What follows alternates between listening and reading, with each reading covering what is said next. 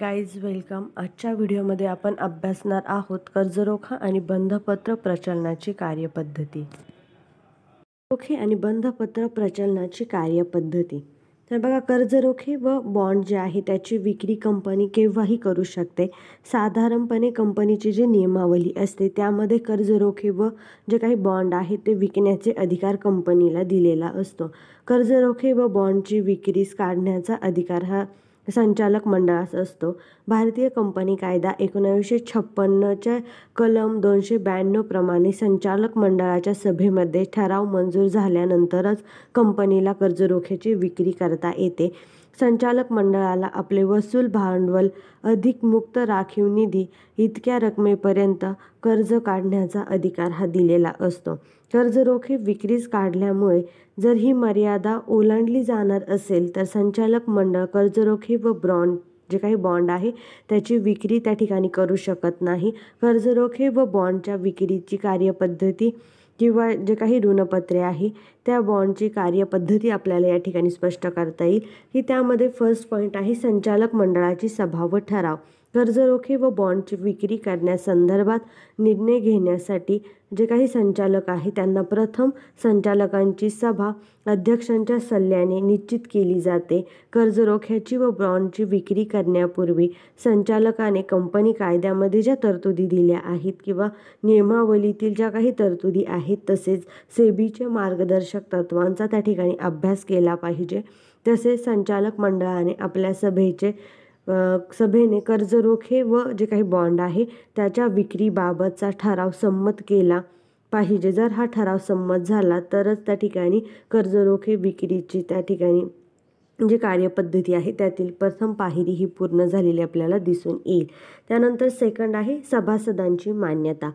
कर्जरोखे व बॉन्डच्या विक्रीमुळे कंपनीने घेतलेल्या कर्जाची एकूण वसूल भाग भांडवल आणि मुक्त राखीव निधी यांच्यापेक्षा जास्त होत असेल तर भागधारकांची जी काही सभा आहे त्या सभेमध्ये ठा साधा ठराव संमत करून घ्यावा लागतो आणि त्यामध्ये त्या सभासदांची मान्यता मिळवावी लागते. त्यानंतर नेक्स्ट आहे सेबीची मार्गदर्शक तत्वे. तर बघा कर्जरोखे व बॉन्डची विक्री करताना त्याविषयी सेबीमध्ये काही मार्गदर्शक तत्वे दिलेली असतात. त्या तत्वांचे काटेकोरपणे पालन झालेले आहे किंवा नाही हे त्या संचालकांनी बघितले पाहिजे.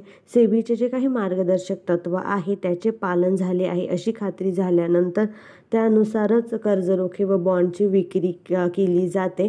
तर ही विक्री करत असताना विक्रीच्या अटी किंवा प्रकार तारण रक्कम त्याचप्रमाणे व्याजदर किती आहे इत्यादी बाबी निश्चित करून त्या ठिकाणी घेतल्या पाहिजे. नेक्स्ट आहे रिझर्व्ह बँकेची परवानगी. कंपनीने वाहक कर्ज रोख्यांची किंवा बॉन्डची जर विक्री करायची असेल तर कंपनीला रिझर्व्ह बँकेची परवानगी घ्यावी लागते. कारण वाहक कर्ज रोखे ही हस्तांतरणाने त्या ठिकाणी हस्तांतरित होत असतात. त्यासाठी कंपनीला कोणत्याही प्रकारचे त्या ठिकाणी परवानगीची आवश्यकता नसते. त्यामुळे अशा कर्जरोख्यांची विक्री करण्यासाठी त्या कंपनीला रिझर्व्ह बँकेची परवानगी घ्यावी लागते. त्यानंतर विश्वस्तांची मान्यता. कंपनीच्या कर्जरोखे व बॉन्डची विक्री ही विश्वस्त कराराने केलेली असते. त्यामुळे अशा प्रकारची विक्री करताना विश्वस्त करार करून करण्यात येणार असेल तर विश्वस्तांची नियुक्ती करून कर्जरोखे विक्रीस त्यांची मान्यता त्या ठिकाणी घ्यावी लागते.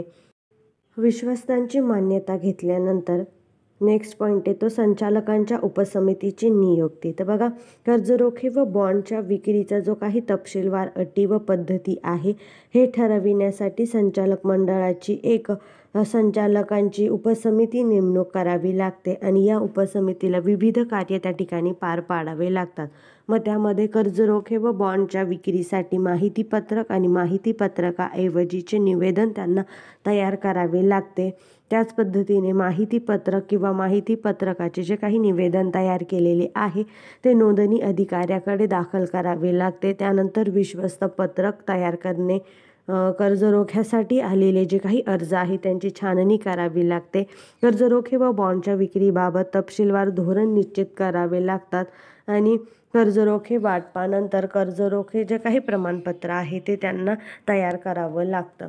यानंतर बघा की संचालकांच्या उपसमितीची नियुक्ती झाल्यानंतर ते विविध कार्य पार पाडल्यानंतर बँकरची नियुक्ती करावी लागते.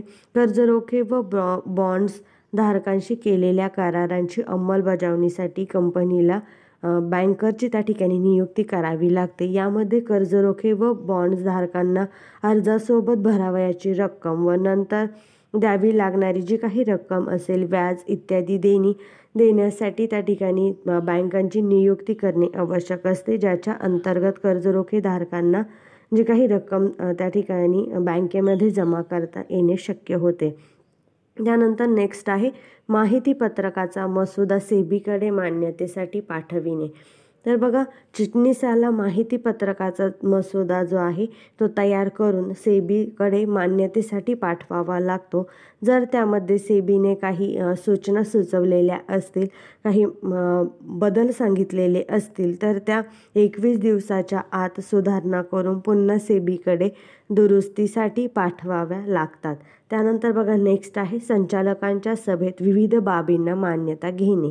कर्जरोखे व बॉन्डची विक्री करण्यासाठी माहिती पत्रकाच्या मसुद्याला मान्यता घेण्यासाठी तसेच उपसमितीने तयार केलेल्या अहवालाला मान्यता घेण्यासाठी संचालक मंडळाची सभा बोलावली.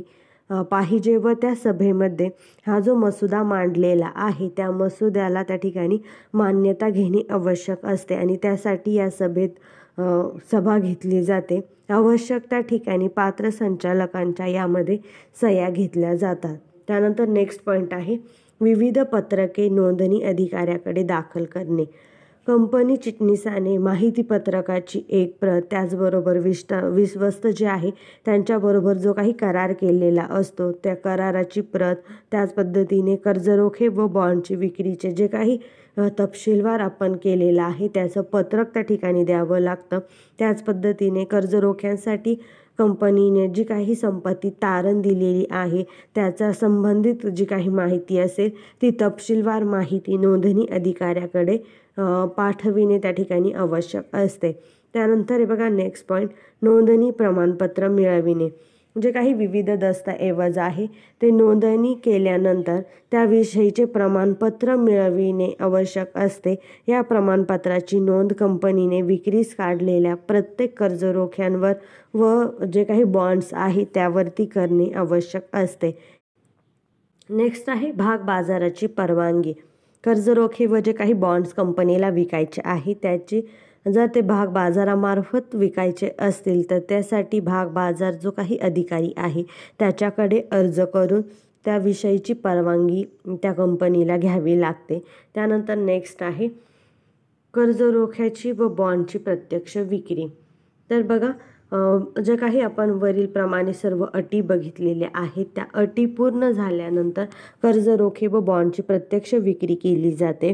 हा विक्री करताना कंपनीने दर्शनी किमतीच्या किमान पाच टक्के जी काही रक्कम आहे ती रोख स्वरूपात मागविणे आवश्यक असते. माहिती पत्रकाच्या प्रसिद्धीनंतर किमान पाच दिवसांनी कर्ज रोख्यांचे व जे काही बॉन्ड्स आहे त्याचे वाटप केले जाते. त्यानंतर हे वाटप केल्यानंतर नेक्स्ट पद्धत आहे की कर्ज रोख्याचे प्रमाणपत्र देणे. प्रामुख्याने कंपनी पूर्ण रक्कम ज्यावेळेस वसूल होते त्यावेळेस कर्ज रोखे व बॉन्डची विक्री करते. कं परंतु काही वेळेस योग्य त्या हप्त्यात रक्कम घेण्यास देखील कंपनी मान्यता देत असते. मात्र पूर्ण किंमत वसूल झाल्याशिवाय प्रमाणपत्र त्या कंपनीला देता येत नाही. नोंदणीकृत कर्ज रोखे व बॉन्डची विक्रीस काढलेले असेल तर त्याची नोंद स्वतंत्र नोंदणी पुस्तकात के करावी लागते आणि त्याचे प्रमाणपत्र तयार करून त्यावरती योग्य त्या रकमेचे कोर्टचा स्टॅम्प लावावा लागतो आणि त्यावरती किमान दोन संचालक व चिटणीसाची सही घेऊन ते प्रमाणपत्र कर्जरोखे व बॉन्ड जे धारक आहे त्यांना देण्यात येते. कंपनीने कर्जरोख्याची व बॉन्डची विक्री केल्यानंतर तीन महिन्याच्या आत कर्जरोखे व बॉन्डचे प्रमाणपत्र जे काही संबंधित दा कर्जरोखेधारक आणि बॉन्डधारक आहे त्यांना घेणे आवश्यक असते. अशा या प्रमाणपत्रावर क जी कंपनी आहे त्या कंपनीची मुद्रा असणे महत्त्वाचे असते. या सर्व गोष्टींचा विचार करून व या सर्व गोष्टी अंमलात आणून कर्जरोखे व बंधपत्रे प्रचलन करण्याची जी काही कार्यपद्धती आहे ती पूर्ण करून कंपनी भांडवल उभारणी करू शकते. आजच्या व्हिडिओमध्ये आपण अभ्यासलं कर्जरोखा आणि बंधपत्र जे काही प्रचलन करतात त्याची कार्यपद्धती. थँक्यू.